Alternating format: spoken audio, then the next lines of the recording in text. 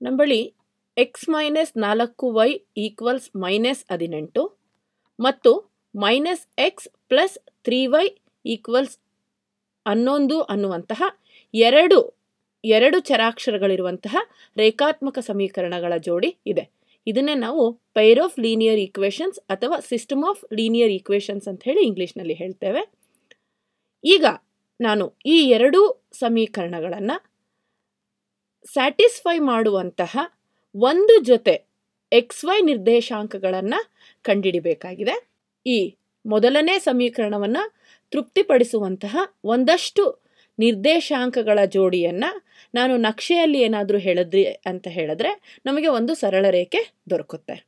ಹಾಗೆಯೇ ಎರಡನೇ ಸಮೀಕರಣವನ್ನು ತೃಪ್ತಿ ಮಾಡುವಂತಹ ಒಂದಷ್ಟು ಎಕ್ಸ್ ವೈ ನಿರ್ದೇಶಾಂಕಗಳನ್ನು ನಕ್ಷೆಯಲ್ಲಿ ನಾನು ರೆಪ್ರೆಸೆಂಟ್ ಮಾಡಿದೆ ಅಂತ ಹೇಳಿದ್ರೆ ಆಗಲೂ ಸಹ ನನಗೆ ಮತ್ತೊಂದು ಸರಳ ರೇಖೆ ದೊರೆಯುತ್ತೆ.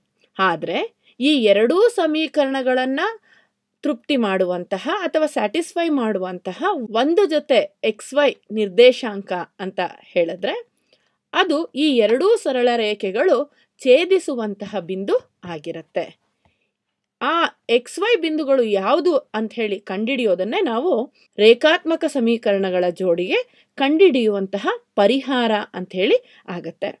ಈಗ ಅದಕ್ಕಾಗಿ ನಾನು ಈ ಮೊದಲನೇ ಒಂದು ಸಮೀಕರಣವನ್ನು ಮತ್ತೊಮ್ಮೆ ಬರೆದುಕೊಳ್ತೇನೆ.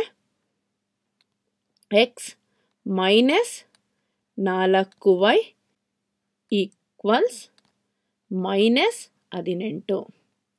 ನಮಗೆ ತಿಳಿದಿದೆ ನಾವು ಸಮೀಕರಣದ ಎರಡೂ ಬದಿಗಳಿಗೆ ಯಾವುದೇ ಗಣಿತ ಕ್ರಿಯೆಗಳನ್ನು ಮಾಡಿದ್ವಿ ಅಂತ ಹೇಳಿದ್ರೆ ಅದರ ಸಮತೆ ಹಾಗೆ ಉಳ್ಕೊಳ್ಳುತ್ತೆ. ಅಂದರೆ ನಾನು ಎಡಬದಿಯನ್ನು ಯಾವ ಸಂಖ್ಯೆಯಿಂದ ಗುಣಿಸ್ತೇನೋ ಬಲಬದಿಯನ್ನು ಅದೇ ಸಂಖ್ಯೆಯಿಂದ ಗುಣಿಸ್ದೆ ಅಂತ ಹೇಳಿದ್ರೆ ಆಗ ಸಮೀಕರಣದ ಬೆಲೆಯಲ್ಲಿ ಯಾವುದೇ ವ್ಯತ್ಯಾಸ ಆಗೋದಿಲ್ಲ. ಇದು ನಾಲ್ಕು ಗಣಿತ ಕ್ರಿಯೆಗಳಿಗೂ ಅನ್ವಯಿಸುತ್ತೆ. ನಾನು ಎಡಬದಿಯಲ್ಲಿ ಯಾವುದೇ ಬೆಲೆಯನ್ನು ಕೂಡಿ ಈ ಎರಡು ಚರಾಕ್ಷರಗಳಲ್ಲಿ ಒಂದು ಚರಾಕ್ಷರವನ್ನು ಮಾತ್ರ ಉಳಿಸಿಕೊಳ್ಳುವಂತೆ ಮಾಡಿದೆ ಅಂತಾದರೆ ನನಗೆ ಒಂದು ಚರಾಕ್ಷರವಿರುವಂತಹ ಸಮೀಕರಣ ಸಿಗುತ್ತೆ. ಹಾಗೆ ನಾನು ಸುಲಭವಾಗಿ ಆ ಚರಾಕ್ಷರದ ಬೆಲೆಯನ್ನು ಕಂಡುಹಿಡಬಹುದಾಗಿರುತ್ತೆ ಆ ಸಮೀಕರಣವನ್ನು ಬಿಡಿಸಬಹುದಾಗಿರುತ್ತೆ. ಅದಕ್ಕಾಗಿ ನಾನೇನು ಮಾಡ್ತಾ ಇದ್ದೀನಿ, ಈಗ ಎಡಬದಿಯಲ್ಲಿ ಈ ಎರಡನೇ ಸಮೀಕರಣದಲ್ಲಿರುವಂತಹ ಮೈನಸ್ ಎಕ್ಸ್ ಪ್ಲಸ್ ಮೂರು ವೈಯನ್ನು ಕೊಡ್ತಾ ಇದ್ದೇನೆ. ಓ, ಇಲ್ಲಿ ನಮಗೆ ಸುಲಭವಾಗಿ ಎಕ್ಸ್ ಕ್ಯಾನ್ಸಲ್ ಆಗ್ತಾ ಇದೆ ಎಲಿಮಿನೇಟ್ ಆಗ್ತಾ ಇದೆ. ಯಾಕೆಂದರೆ ಇದು ಪ್ಲಸ್ ಎಕ್ಸ್ ಆಗಿದೆ, ಇದು ಮೈನಸ್ ಆಗ್ತಾ ಎಕ್ಸ್ ಆಗಿರೋದ್ರಿಂದ ಈ ಎರಡನ್ನು ಕೂಡಿದಾಗ ನಮಗೆ ಕ್ಯಾನ್ಸಲ್ ಆಗುತ್ತೆ. ನಮಗೆ ಇದು ಸುಲಭ ಆಗ್ತಾ ಇದೆ. ಇನ್ನು ಮೈನಸ್ ನಾಲ್ಕು ವೈಗೆ ಪ್ಲಸ್ ಮೂರು ವೈಯನ್ನು ಕೂಡಿದಾಗ ನಮಗೆ ಉಳಿತಾ ಇರುವಂಥದ್ದು ಮೈನಸ್ ವೈ ಎಡಬದಿಯಲ್ಲಿ.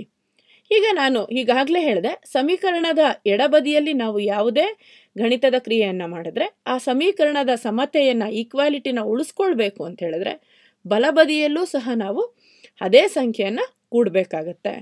ಈಗ ನಾನೇನಾದ್ರೂ ಇಲ್ಲಿ ಮೈನಸ್ ಎಕ್ಸ್ ಪ್ಲಸ್ ಮೂರು ವೈಯನ್ನು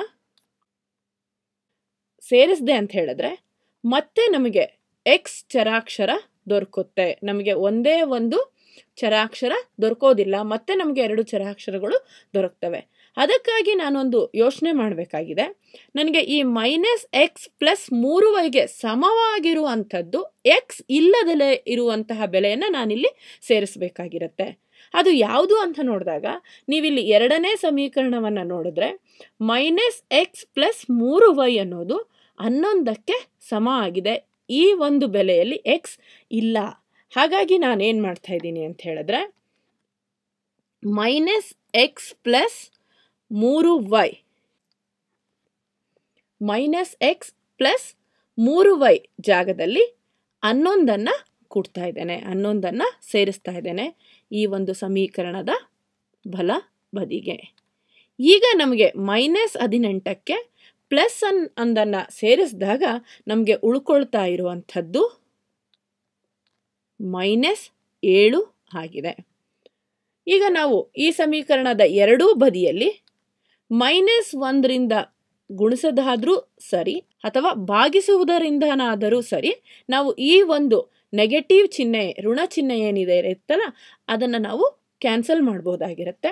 ಆಗ ನಮಗೆ ಉಳಿಯುವಂಥದ್ದು ವೈ ಈಕ್ವಲ್ಸ್ ಏಳು.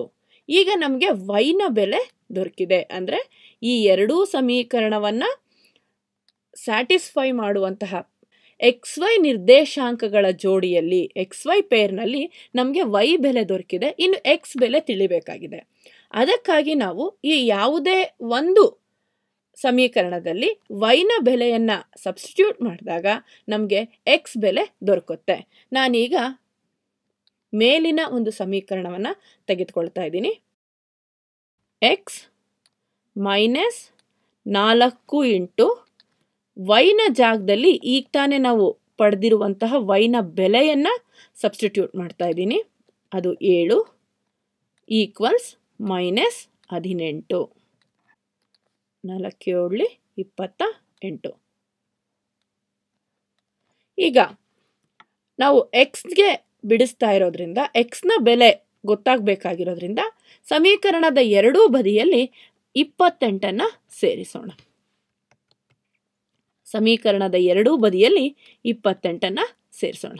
ಇಪ್ಪತ್ತೆಂಟು ಈಕ್ವಲ್ಸ್ ಇಪ್ಪತ್ತ ಎಂಟು ಈಗ ನೋಡಿದ್ರೆ ಒಂದು ಮೈನಸ್ ಇಪ್ಪತ್ತೆಂಟು, ಮತ್ತೊಂದು ಪ್ಲಸ್ ಇಪ್ಪತ್ತೆಂಟು, ಎರಡೂ ಸಹ ಕ್ಯಾನ್ಸಲ್ ಆಗಿ ನಮಗೆ ಉಳಿಯುವಂಥದ್ದು ಎಕ್ಸ್ ಈಕ್ವಲ್ಸ್ ಮೈನಸ್ ಹದಿನೆಂಟರಲ್ಲಿ, ಮೈನಸ್ ಹದಿನೆಂಟಕ್ಕೆ ಪ್ಲಸ್ ಇಪ್ಪತ್ತೆಂಟನ್ನು ಕೂಡಿದಾಗ ನಮಗೆ ದೊರೆಯುವಂತಹ ಬೆಲೆ ಹತ್ತು ಆಗಿದೆ. ಈಗ ನಮಗೆ ಈ ಎಕ್ಸ್ ಮತ್ತು ವೈ ಈ ನಿರ್ದೇಶಾಂಕಗಳ ಬೆಲೆ, ಈ ಎರಡೂ ಸಮೀಕರಣಗಳು ಯಾವ ಬಿಂದುವಿನಲ್ಲಿ ಛೇದಿಸ್ತಾ ಇದ್ದಾವೆ ಅಂಥೇಳಿ ಆ ಎಕ್ಸ್ ವೈ ನಿರ್ದೇಶಾಂಕಗಳ ಬೆಲೆ ನಮಗೆ ಈಗ ಗೊತ್ತಾಯಿತು. ಅದನ್ನು ನಾನಿಲ್ಲಿ ಹೀಗೆ ಬರಿತೇನೆ. ಎಕ್ಸ್ ಕಾಮ ವೈ ಎಕ್ಸ್ನ ಬೆಲೆ ಹತ್ತು ವೈನ ಬೆಲೆ ಏಳು. ಎಕ್ಸ್ನ ಬೆಲೆ ಹತ್ತು ಮತ್ತು ವೈನ ಬೆಲೆ ಏಳು ಅನ್ನುವಂಥದ್ದು ಈ ಎರಡು ರೇಖಾತ್ಮಕ ಸಮೀಕರಣಗಳ, ಎರಡು ಚರಾಕ್ಷರಗಳುಳ್ಳ ರೇಖಾತ್ಮಕ ಸಮೀಕರಣಗಳ ಜೋಡಿಯ ಪರಿಹಾರ ಆಗಿದೆ. ಈಗ ನಾವು ಎಕ್ಸ್ ಬೆಲೆಯನ್ನು ವೈನ ಬೆಲೆ ಏಳು ಅನ್ನುವುದನ್ನು ಈ ಮೊದಲನೇ ಸಮೀಕರಣದಲ್ಲಿ ಸಬ್ಸ್ಟಿಟ್ಯೂಟ್ ಮಾಡಿ ಕಂಡಿಡಿದಿದ್ದೇವೆ. ನಾನು ನಿಮಗೆ ಹೇಳ್ತಾ ಇದ್ದೀನಿ, ಇದನ್ನು ಈ ವೈ ಬೆಲೆ ಏಳನ್ನು ಎರಡನೇ ಸಮೀಕರಣದಲ್ಲೂ ಸಹ ಸಬ್ಸ್ಟಿಟ್ಯೂಟ್ ಮಾಡಿ ಎಕ್ಸ್ನ ಬೆಲೆ ಅತ್ತೆ ಆಗಿರುತ್ತೆ ಅಂತೇಳಿ ಸಹ ನೀವು ಪರೀಕ್ಷೆ ಮಾಡಬಹುದಾಗಿರುತ್ತೆ. ಈಗ ನಾವು ಈ ಸಮೀಕರಣಗಳನ್ನು ನಕ್ಷೆಯ ಮೂಲಕ ಏನಾದರೂ ಪ್ರತಿನಿಧಿಸಿದ್ರೆ ಅದು ಹೇಗೆ ಕಾಣಿಸುತ್ತೆ ಮತ್ತು ಅದರ ಪರಿಹಾರ ಹೇಗಿರುತ್ತೆ ಅಂತೇಳಿ ಒಂದು ತ್ವರಿತ ನೋಟದಲ್ಲಿ ನೋಡೋಣ. ಇಲ್ಲಿ ನೀವು ಗಮನಿಸಬಹುದು, ಇದು ವೈ ಅಕ್ಷ ಮತ್ತಿದು ಎಕ್ಸ್ ಅಕ್ಷ ಆಗಿದೆ. ಈ ಹಸಿರು ಬಣ್ಣದಲ್ಲಿರುವಂತಹ ಸರಳ ರೇಖೆ ಮೊದಲನೇ ಸಮೀಕರಣ ಎಕ್ಸ್ ಮೈನಸ್ ನಾಲ್ಕು ಈಕ್ವಲ್ಸ್ ಮೈನಸ್ ಹದಿನೆಂಟನ್ನು ಪ್ರತಿನಿಧಿಸುತ್ತೆ. ಹಾಗೆ ಈ ಆರೆಂಜ್ ಬಣ್ಣದಲ್ಲಿರುವಂತಹ ಗೆರೆ ಎರಡನೇ ಸಮೀಕರಣ ಮೈನಸ್ ಎಕ್ಸ್ ಪ್ಲಸ್ ಮೂರು ವೈ ಈಕ್ವಲ್ಸ್ ಹನ್ನೊಂದನ್ನು ಸೂಚಿಸುತ್ತೆ. ಈ ಹಸಿರು ಬಣ್ಣದ ಮೇಲಿರುವಂತಹ ಎ, ಬಿ, ಸಿ, ಡಿ ಈ ಎಲ್ಲ ನಿರ್ದೇಶಾಂಕಗಳು ಈ ಒಂದು ಸಮೀಕರಣದ ಪರಿಹಾರಗಳಾಗಿವೆ. ಕಿತ್ತಳೆ ಬಣ್ಣದ ಒಂದು ರೇಖೆಯ ಮೇಲಿರುವಂತಹ ಬಿಂದುಗಳು ಇ, ಎಫ್, ಸಿ, ಜಿ ಈ ಬಿಂದುಗಳು, ಈ ನಿರ್ದೇಶಾಂಕಗಳು ಈ ಎರಡನೇ ಸಮೀಕರಣದ ಪರಿಹಾರಗಳಾಗಿವೆ.